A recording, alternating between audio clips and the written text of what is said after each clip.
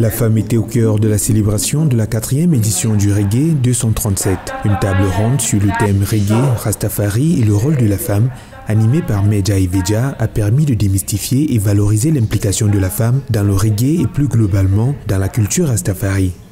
On attend que la solution vienne de dehors, alors que la règle, c'est quand je change, le monde change.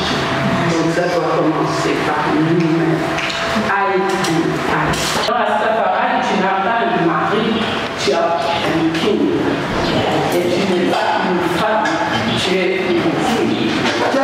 C'est à nous de changer les Merci, choses. L'objectif ici est de dissiper le nuage de fumée qui est entre nous et le grand public afin qu'ils comprennent que le reggae a une valeur au-delà de ce qu'ils pensent.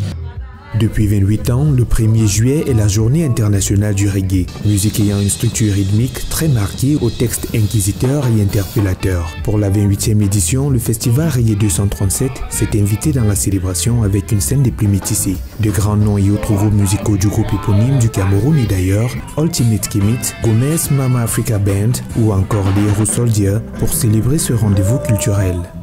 On a l'impression que oui, le message passe. Vous nous prenez à l'instant, Et euh, on a espoir. Le reggae, c'est une musique consciente, une musique porteuse des messages. Et tout ça va se faire ressentir aussi dans notre propre, dans notre manière de vivre, dans notre façon de vivre. Cette édition était surtout un rendez-vous d'hommage au concepteur du festival Reggae 237 et ambassadeur de la culture Rastafari au Cameroun, Simon Pakistan, décédé en février 2022.